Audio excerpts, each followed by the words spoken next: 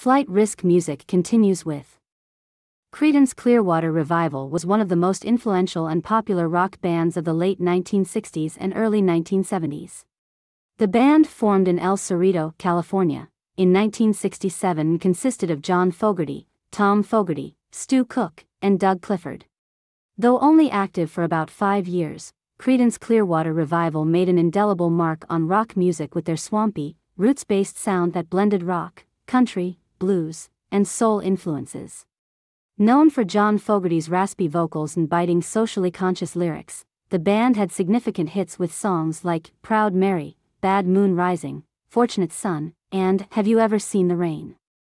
Though plagued by tensions that led to their breakup in 1972, Creedence Clearwater Revival's bluesy, Americana flavored rock inspired countless artists. It cemented their status as one of the defining acts of their era. Even decades later, their music remains a staple of classic rock radio. Creedence Clearwater Revival showcased the raw talent and natural rock and roll spirit in a way few other bands could match. Thanks for watching. Be sure to like and subscribe to our channel.